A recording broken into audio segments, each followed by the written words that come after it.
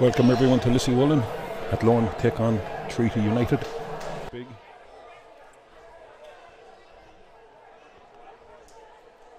No pressure put on the defender and he took the ball out the whole way. And that's, Well, that's a good good. ball out to Valerie. Go on, Valerie.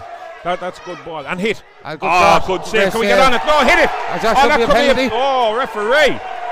The whole of Lizzie Oh. Woolen on their feet. Thinking it's a penalty. Yeah.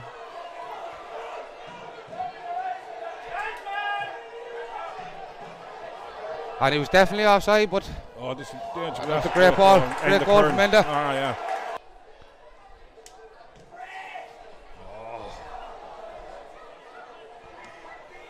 Oh, great through ball. good ball through, yeah. Oh, Rodriguez down here. Dangerous time. Oh, Yeah, well done now, Enda Minogue. oh, And that's a goal for Treaty, I'm afraid, and it's 2 0. that looked like curtains now anyway. That's that wrapped up, I'm afraid. Yeah. Absolutely.